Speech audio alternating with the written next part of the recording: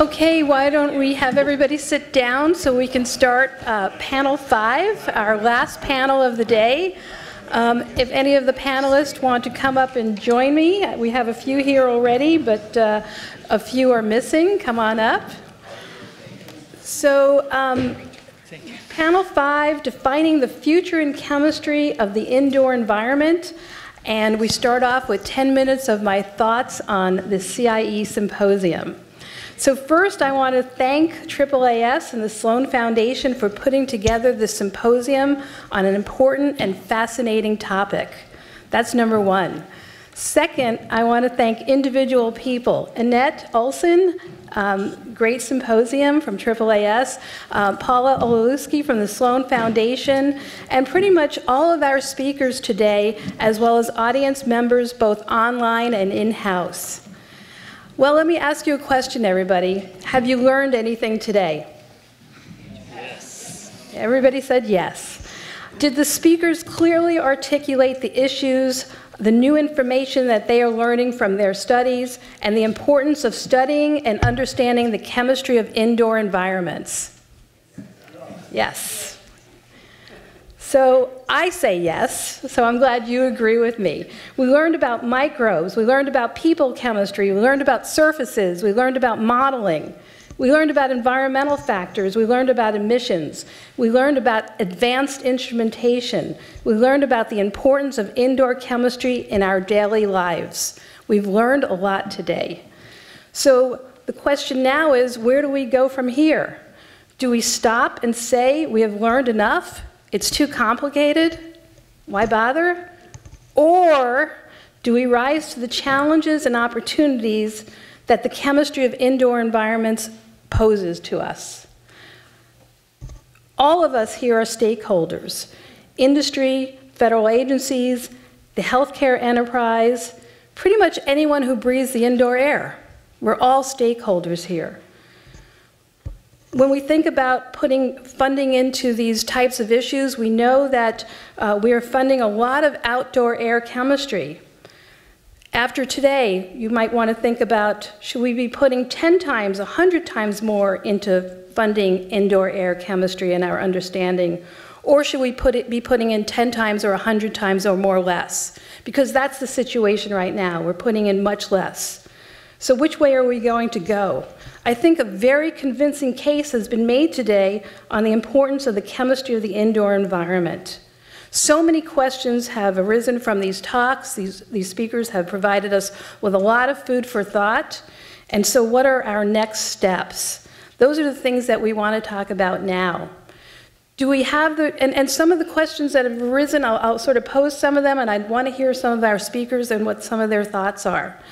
Um, do we have the research tools and the research infrastructure to address the research needs for understanding the chemistry of indoor environments, which range from fundamental studies to health impacts, and making sure that we're also including vulnerable and understudied populations? Should federal agencies come together in a coordinated fashion to provide resources for the various aspects of chemistry of the indoor environment, similar to what happened with the National Nanotechnology Initiative? Should we have a National Chemistry of the Indoor Environment Initiative? That's my question. How can collaboration between various stakeholders help gain an understanding of these problems and, importantly, some of the solutions? How do we define better materials moving forward? How do we want to think about this? How do we want to provide solutions? We've heard some examples of solutions. How do we continue on with this? Climate change and indoor air.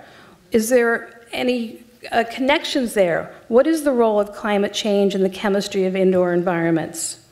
Is there a role for citizen science in the chemistry of the indoor environment? Can we empower people so that they know more about their indoor air, their indoor environments? And can we communicate the science of the chemistry of the indoor environment so that we can get people to uh, support what the community is doing so they, we can help understand health effects, understand the fundamental chemistry behind some of these health effects. So those are some of the questions that have arisen for me, at least, when I was sitting there in the audience. And I want to hear from our uh, panel now on uh, seeing if anyone wants to address some of these, these issues about uh, research tools and infrastructure, uh, climate change and indoor environments, citizen science, anything that you would like to input on, I'd love to hear what you have to say, as well as does everybody in here and also online.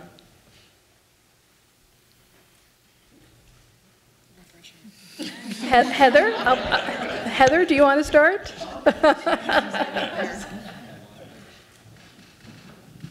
Well, is this on? Okay. Um, Well, you know, thank you for kicking us off. Um, I mean, I, I- I sit here and you mentioned research needs and problems and ways to address, find solutions. And one thing I think about more based on my kind of biased interest in building materials and consumer products is the fact that, and I was telling somebody this at the break, I spend a lot of time and money just trying to figure out what's in consumer products, um, particularly the flame retardants in polyurethane foam. Yet out there, that information is available within the industry, but they're not required to release that. They're allowed to keep that as confidential business information. And I, you know, I just find that just amazing that these chemicals can be used in large volumes. Some of them are probable carcinogens. In the case of a flame retardant, it can be used in a baby's mattress, um, at, you know, 5% by weight, leading to exposure to infants. Um, and the parent has no way to learn whether that chemical is in there or not. And the only way to learn is to actually have someone analyze the material. Because in my experience, half the time the mac- manufacturers don't actually know because of the big steps in the supply chain from the person producing the raw materials to the finished product that's sold in the store. To me, that's a big problem that needs to be addressed. Um, and we know what the ingredients are in a lot of personal care products, they're listed. We don't know what they are in the building materials, in our furniture, electronics, things like that, which are also sources of exposure. That's a big data gap that needs to be addressed, and that's, you know, my, my two cents. Thank you. Important. Barb, did you want to say anything? Is that my name? Is this on? No. That one may not be one of yours. Try, try this one. Okay. Well, I guess I could address climate change. So, um, well, it, it seems quite clear that we're going to be likely to be using more air conditioning in the future. And so if you're getting your air if you're powering your air conditioning on um, fossil fuels, then that's a positive climate feedback. So we gets hotter, we use more air conditioning, and then it gets even hotter. Um, but I, I do think we are going to need to think about, um, you know, how climate change is kind of both those feedbacks in both directions. How climate change is going to affect what we do in our indoor environment and how we control our indoor uh, uh, air quality, um, but also um, how do we uh, be responsible about how we manage the uh, indoor air quality and not exacerbate the climate change problem. And I guess that is going to play out differently in different regions. Um, I grew up in the Pacific Northwest, and the last, oh, six or seven times I've been home, it's been really smoky um, from the big fires. And my mom will send me the, um, the public service announcement about what are you supposed to do to reduce your exposure to um, the fire emission, to the smoke. And, and they do a pretty good job, I would say. Um, but some of those things are close your windows, turn on your air conditioner to get rid of the smoke, right? And where I live now in the southeast, it's really humid in the summer. And I think um, my, my friends, when I moved down there, have told me, no, you, you have to use your air conditioner or else your, your house will mold. and it's, you know, it's not unlikely it'll probably get even hu- more humid in the southeast. So um, the problems are going to be different, the challenges across the country, and um, we're going to need to be thinking about how do we do this in a responsible way. Has anybody seen the news of what's happening in Houston today? Right, I think it's, Dustin, I think you were the one that said it earlier, they're having their fifth, fifth straight year of 100-year floods in Houston. Yeah. So there's going to be a lot of hydrolysis reactions in buildings in Houston for the next several weeks, right, that have been just drenched. I was going to add something uh, about consumer products and, and chasing our tail a lot. Um, many of you are familiar with the fact that we've uh, that there's been a great desire to go towards low VOC or no VOC latex paints indoors. Um, if you look at the VOCs that that comprise you know modern latex paints, there's not a lot of evidence that any of them are really harmful to humans. The main concern about low, about VOC emissions from paints is they get outdoors and as Matt was talking about, they contribute to photochemical smog formation. They may smell and you may not like the smell, but you know no no big health risks there. Now we've moved towards no VOC paints and we're replacing those VOCs with semi-volatile organic compounds, some of which some of which may be endocrine disrupting chemicals. So we, we've tried to solve one problem and it may have created another, and that happens all the time in, in our field, certainly in the indoor air field, uh, when we're dealing with consumer products of, of, of all, all sorts of different types of consumer products. Does anybody else want to add on? I guess maybe, maybe I'll add something that kind of tries to tie what they've said here with what you've mentioned before in terms of funding because of regulation. So I, I don't know, maybe it's my simplistic way of viewing it, but it seems that we, we like to say that a lot, that the outdoor air atmospheric chemistry has had a lot of research and a lot of research funding put into it over the past few decades because it's regulated. Um, but the indoor air, we can't regulate what people do in their own homes. They can, you know, they have the freedom to do whatever they want indoors, and, and we don't want to impose on that freedom, of course. But we're learning that what we do indoors affects what happens outside, uh, like what Matt's talk, um, you know, relating our activities indoors with what comes outside. But then what Rich just said um, is also very important to be to be noted. So we can't, we can't, um, we can't just regulate indoor activities or we can, we can use consumer products, we can use building materials, we can use uh, the industry to try to force change that will impact indoor air towards health, but we also need to be considering outdoor air pollution at the same time. We just can't do one thing without doing the other. So uh, making a change into a consumer product, like what happened with the case of the paints, just because of outdoor air pollution is, is just not sufficient. Indoor exposures are very important, indoor health is very important, um, and it's not completely outside of our control. Sometimes I feel like I hear uh, that we, we are powerless to, to um, the expo we are powerless to change or to impact people's exposure to indoor pollutants because we can't control people do in their, in their own homes. But that's not true. We can educate and we can interact with industry to make those changes happen from upstream in the chain, in the supply chain.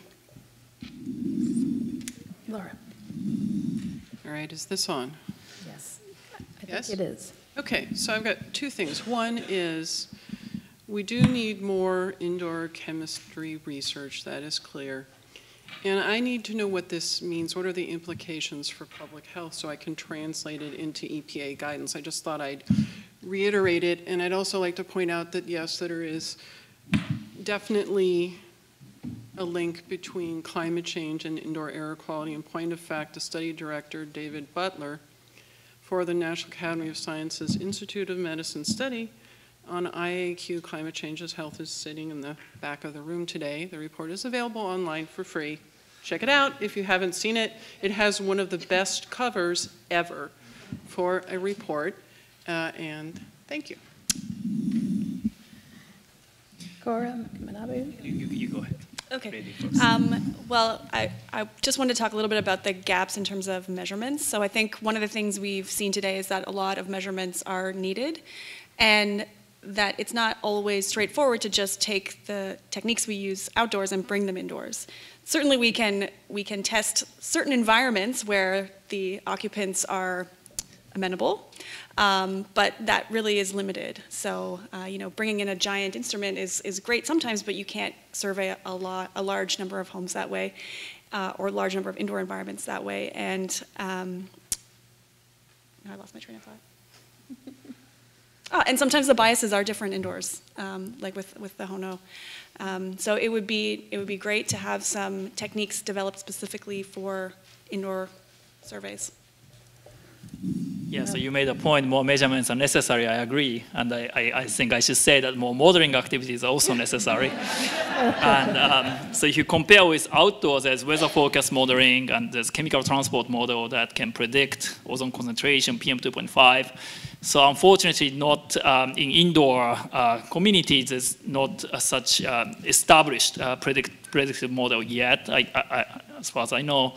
And uh, so we want to work towards to that direction that to achieve sort of a model that can be used to predict indoor air quality. It's a long way to go, but that's, that's something that um, um, would, be, would be great, and then that's, that's beneficial for society. So any um, additional questions from the audience, both uh, here as well as online, it's definitely welcome, they're welcomed as well. Please go to the mic. I want to just tag on to what Manabu just said because I think it's actually really important as a measurement person. Um, it's hard to say this, but we actually really, really, really, really need the models. And, and the reason I say that is because outdoors we have one big airshed and, and things are relatively well mixed. You, you measure in a city and you get a pretty good idea of the whole city. We've talked today about carpet, different materials, chairs, what mattress, like all of these things can change indoor environment to indoor environment to indoor environment. And there's no way we can make measurements in every combination out there, but we can model it. So we need to do the measurements we can to inform the models and then take those models and say, what does this indoor space look like? And use what we've learned in the few measurement places that we've done to really inform the indoor spaces because the heterogeneity across indoor spaces is huge Right. compared to the outdoors. I totally agree. So I want to say thank you for that comment. It kind of gets to where- where I was going to go a little bit, which is, we have a lot of information. Some of it's concerning, some of it's less concerning. Uh, We um, know that people spend most of their time indoors. And when do we say we have enough to start making some decisions? And I would argue or suggest that maybe we have enough to start making some decisions or recommendations now as we continue to measure and model going forward. Yeah. Anybody want to comment? Well, I would say there, there, you know, when we talk about chemistry and chemical reaction products, so many of them that are being identified, we, we don't have any tox data for at all. And so, so a question is, um, you know, do we use a precautionary principle and say, well, probably the stuff's probably not good for you. You know, it may not be really bad for you, but there are ways of actually quenching chemistry. We can we can make decisions that we don't want to see those reaction products. So let's just stop them from forming now. And there are ways to engineer that. And it's, in, in for certain types of chemistry, that's actually pretty easy. For other types, it's not. But, um, but that's one of the things that I think Glenn's worked on and, and I've worked on is, is how do we just quench, especially oxidation, especially ozone chemistry in indoor environments. That's actually not that difficult if we want to do it. So I'm going to go to a couple of questions from people watching uh, online. Uh, WT asks, is green chemistry the answer as far as building materials and consumer products are concerned? And how does the panel think we can move faster in that direction? Cora? Wait, Before Cora answers the question, I just want to Nina? ask if, um, if maybe you can or anybody can actually define green chemistry. I think that's really important. Uh, because there's, the, there's the traditional view of green chemistry that's known. There are uh, the, the 12 principles of green chemistry and all of that. But there's also, there are other sides of it that, that um, some researchers consider to be green. I've seen the use of, you know, tea extracts to reduce environmental impacts for green chemistry. So I just want to be very clear on the definition of green chemistry. Um, and in our case, it, it may re relate to the production of the, of the materials that are used for air treatment or the actual products of the materials and the environmental impacts of these materials throughout the entire life cycle. So we have Mary Kirchhoff from the American Chemical Society here who wants to speak to that. So, Hi, I'm director of the Green Chemistry Institute at ACS. So the commonly used definition for green chemistry is the design of chemical products and processes that reduce or eliminate the use and generation of hazardous substances. So that's what's been used for quite a while. Now, I will say that definition has evolved, and it's including, it's, it's much broader now and includes things like LCA and systems thinking, so that we're looking at it holistically and not simply focusing on toxics use reduction. Does that help? Yes. Yes. Thank you. You're welcome. Did you want to add anything, Cora? Not to the definition. So given what um, Heather said earlier, that we don't even know what's in building materials, how can we move faster um, to sort of a green chemistry approach? Anybody want to comment? Makes it difficult. Yeah. Yeah, I think, I think Heather pointed out something important, that we don't even know what's in, in these products. One more online, and then I'll go back to the in-house audience. Uh, Monica Rokiki um, asks, what do you think the role of home air monitors might be in increase, in creating a citizen science force, and also to mobilize awareness and action? Does anyone want to take that question?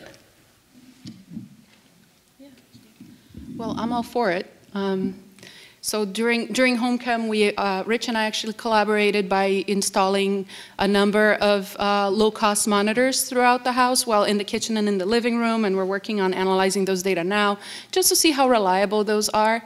And the data that's that's that we're digging through, and then information that exists already online. Uh, there's a really good paper by Brett Singer's group at LBNL, Lawrence Berkeley National Lab. There's also uh, some resources from a website called AQ Spec uh, by the South Coast Air Quality Management uh, District.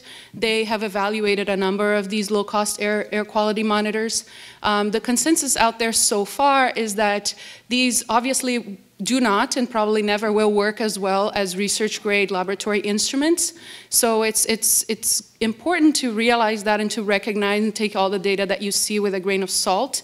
Um, you might be seeing a spike that is overcounting or undercounting what the reality is for, for what you're seeing. But most of these instruments, you know, uh, at least in the case of cooking indoors, for example, it'll help a consumer tell, oh, there's something going on, particulate matter levels went up. Um, the same may or not may not be true for other measurements like CO2 and VOCs, but let's stick to particles for now. These instruments can be very, very useful in educating the community to understand when they're exposed to particulate matter levels that could be harmful to them. And then that might trigger them to, you know, exhaust, uh, ventilate, try to reduce their exposures. So I think there's a really good place for them in educating uh, the overall consumers. Thank you. We have a question here. Chris Avery, ICF International. Um, I, this is sort of a leading question, but just a very brief one. A lot of people here have talked about how important interdisciplinary work is to this type of a field. Thrilled to hear that, super excited to hear that. How many of you, or, or have any of you, considered or, or already brought in policy researchers to that discussion? There's a lot of fundamental, that's very exciting to hear, and I would love to talk to you offline more about that because there's a lot of research that can be done in that space as well alongside the fundamental research that can hopefully build better outcomes on the far end. So those who haven't done it, I would encourage it, but I'm thrilled to hear that some people are. Thank you. Thank you for the question. Um, you want to comment, Hugo? And then we have. Yeah, if I, if I may brief, briefly answer from our point of view, I think I mentioned on our presentation about uh, how our consortium integrated policy as part of the, the whole uh, uh, research program. And that includes the research element in terms of policy, which is understanding what are the needs. This is a, a, a relatively smaller problem in that it only addresses uh, tobacco smoke, but still, I think it's a good model for a larger uh, initiative on indoor chemistry as a whole, which is understanding what would be the more immediate policy needs. And as you mentioned, and I agree with that, uh, including your team, people that could be uh, you know, working on that. Uh, I think that's a very good uh, suggestion. Thank you. And you wanted to say one thing? Yeah, I was just going to mention for the last point about working with policy, those in the policy arena, is not policy, but I think it's really important that we in the indoor community work with psychologists and human behavioralists because so much of what happens in the indoor environment is driven by what people do in the indoor environment. And trying to understand why some people you know, don't use the exhaust vent on their stove when they cook, or why some people like to burn a lot of incense, or why some people like to vacuum, you know, 10 times a week as opposed to once a month kind of thing. It's, it's really important, and those things all affect what people are exposed to indoors. It goes back to the human psyche, and there's probably no, are there any human behavioralists in this room at all? You know, if you go to major indoor air quality conferences and you ask that to a thousand people, how many of you worked with a psychologist or are a human behavioralist? Nobody raises their hand. And I think that's a big missing link in, in, in our community. So just wanted to make that point. That's my soapbox, so. Mary, you have a question? Yes, please. Um, Two questions. So in the last year and a half, we've been using a declaration that manufacturers can now use, the um, Healthy Product Declaration within the building industry. This is where manufacturers can go and share their, basically their substance list, right, of the material makeup of their products. And we try to do exactly what you've suggested, which I appreciate, is using and applying the precautionary approach, where in a known or suspected harm um, is in question, then we look for an alternate and present that within the design case. And I'm kind of wondering, um, we use that, we look at these lists of substances, and then we take our precautionary list, which is class-based, and we're looking at the most harmful substances that are out there um, that we know show up over and over again in the materials, formaldehydes, bisphenols, um, PFCs, right, et cetera. Um, and those are things that designers, we can educate them on and they can start to see where those are showing up. How do, I, I'm interested in your perspective, if you would agree with the class-based approach with so many substances that are out and, or, and, and chemical compounds that are continually coming out, right? That um, the way that we're trying to work on this from one side of the spectrum is let's take care of the ones that show up the most and are the, the um, real harmful offenders. Um, so that's my first question. The second one is in regards to green chemistry. I'm wondering if there is an ability to start looking at bringing that into the market where we don't have alternates. There are, there are materials where I don't have a solvent, I don't have an adhesive, or a sealant, right, that is going to do the trick that would remove those big substances of concern. And I need someone to start working on those, those solutions that involve green chemistry. And I'd like to um, kind of hear your perspective and if you think that that might be a way to go about it. Thank you. Anybody want to comment? Heather? I'll certainly address the first part. Um, you asked whether we ag- agree with the class-based approach, and this is certainly applied to the flame retardants recently with the CPSC report.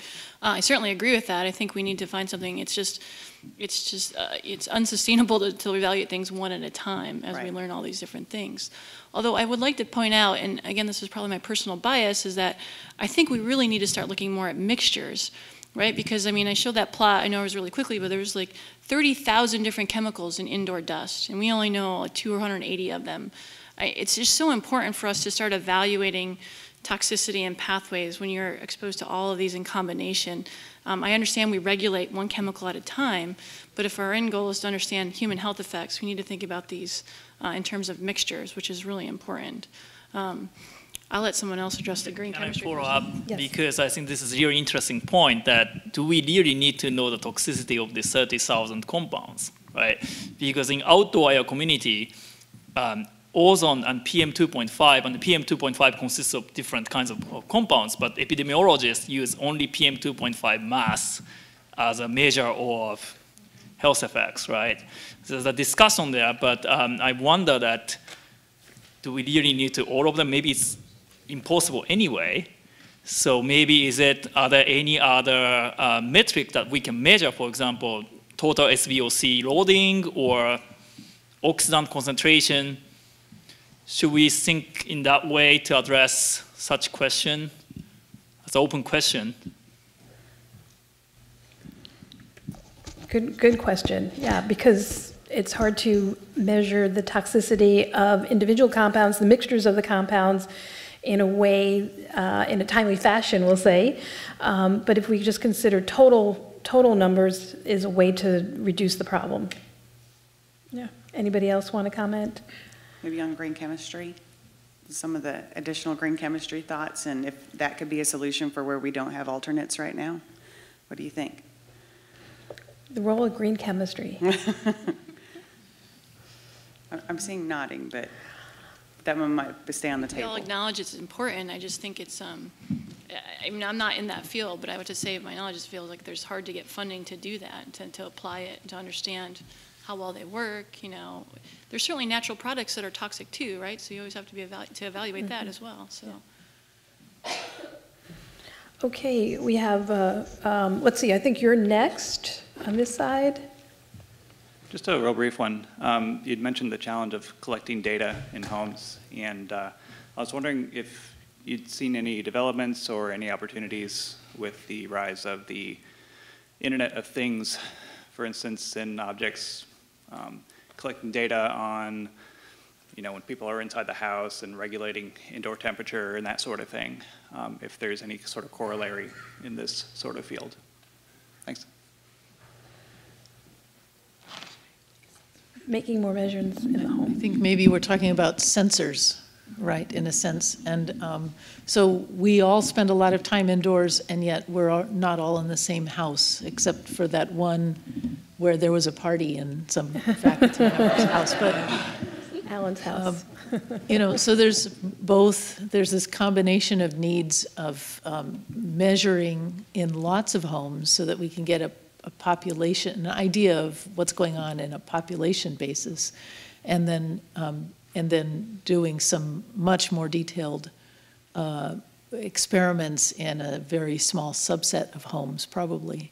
But I think it, there's clearly a need for more um, low-cost sensors to measure important things that we can, you know, where we can put these in lots of, lots of locations and get a better sense of the distribution.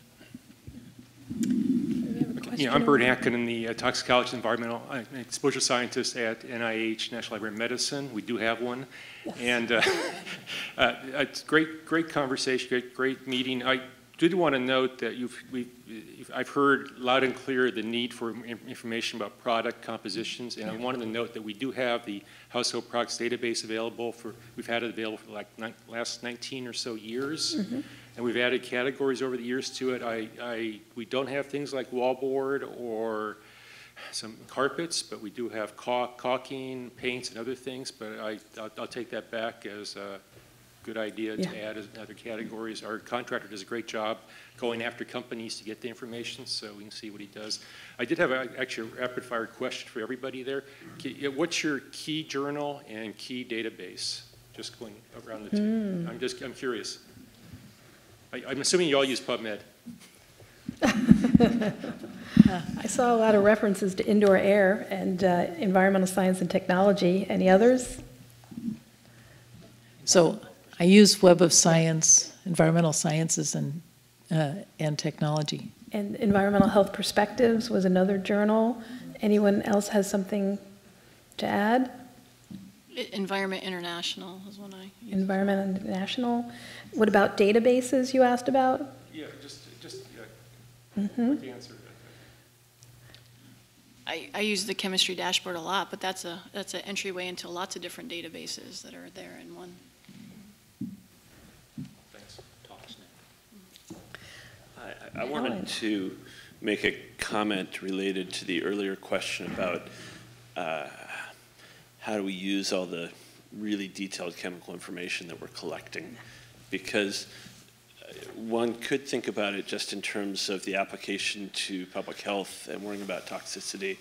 As a chemist, I'm really thinking about that complexity as uh, a set of clues. I'm a detective. I'm trying to figure out where does all this organic material come from.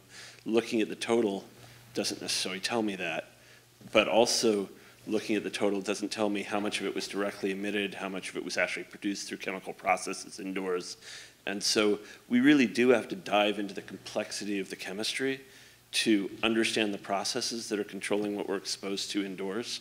It, I don't think it means that we're uh, likely to be able to test toxicity of every chemical, um, but there are chemical classes we know we're more worried about.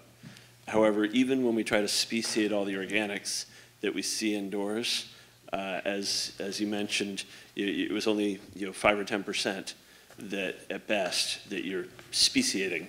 And so we're, we're using 5 or 10 percent identifications to uh, try to get clues about what the other 90, 95 percent uh, uh, uh, came from, how it was chemically transformed, and how it might affect our health. So I would argue we really have to keep digging at the chemical complexity, and that's an area where we're, as a field, um, I think making a big impact at the moment with all these people who have done a little bit more uh, work on uh, outdoor chemistry, uh, detailed chemical composition measurements with new mass spec tools. I think this is an area we're actually making progress, but what isn't happening well enough is communication with the tox, uh, uh, toxicology community, the, the health sciences community, to figure out where the sweet spots are. You know, where do we really um, have an opportunity to make progress in working together? So I hope that that kind of effort is something that come out, can come out of all of our discussion here and, and can lead to some of the things like, like how do you make better glues or how do you make better paints. Uh, but I think it's at the intersection of these communities where we're likely to make progress. Thank you. We have two more questions, and I think that will be it. Uh, having started here early this morning and listened to a great number of very interesting and informative discussions, uh, I wonder if anyone can recommend a, an effective face mask that I can wear outdoors, uh, and when I go home, where uh, all the time I'm indoors in order to protect me from all the hazards I've heard about. Next question. I'll just make the comment that, that personal protection is considered to be the least effective form of air quality control. I, I, actually want to re refer to this. I mean, my, my impression of, of the, the presentations today is that there's a lot of great work going on identifying what's in a building and what influences it, and to some extent materials related things. Um, if I was looking at this from the point of designing uh, a heating and cooling system for a building, we're still talking just about the loads. You know, after that, the question is how do you put the building together to, to meet them? We only really talked about solutions from the point of view of, well, get rid of materials that are bad, uh, get rid of processes that are bad, and, and maybe make some uh, material uh, additions to the building that might remove some contaminants. No, uh, no discussion about the, uh, the mechanical systems that are there specifically for the purpose of controlling those things. And so I, I wanted to, to go to um, the issue of, of indoor air quality standards. ASHRAE standard 62.1 for non-residential buildings is the main standard that goes into codes. How does it define acceptable indoor air quality? Air in which there are no known uh, hazardous materials at harmful concentrations as uh, identified by cognizant authorities and with which a substantial proportion of the occupants do not express dissatisfaction. So one of the tasks is simply to, to determine what the harmful levels of things are because if we know what they are, we can control them. Um, beyond that, I think what we're lacking is a holistic approach, and I hate that word, but I haven't got time to think of a better one, for designing buildings. If I want to design from an energy point of view, I can pull out mm-hmm. ASHRAE Standard 90.1 that deals with, with the envelope, with lighting, with surface water heating, with mechanical systems, the whole schmear is an integrated system. We could have a standard like that for, for indoor environmental quality if we made it a goal to have one. And I think that's a, a role for scientists is to help participate in that project. The reason that ASHRAE formed an environmental health committee and started having an IAQ conference was specifically to get scientists who are outside the, the building industry to advise it on what we needed to do to improve indoor air quality in buildings. And that, that question is still there to be answered in a lot of ways. Uh, and one more thing is uh, to the other comment here, we do identify more and more things in their toxicity, but think about the job that an architect or a mechanical system designer has. What they want to know is the smallest possible list of things that they actually have to measure and control. So, you know, I think if we can harmonize those needs with what science has to provide, then we'll really get somewhere. Thank you for your comment, and uh, did you want, one more, co- I wanted to close this, Oh, go ahead and close. and we can talk later, or did you want, do you have a very important comment? Shall I? Yes. Okay, thank you. I was going to comment that I think we're going to continue to learn for decades. You know, the Clean Air Act is almost 50 years old, right?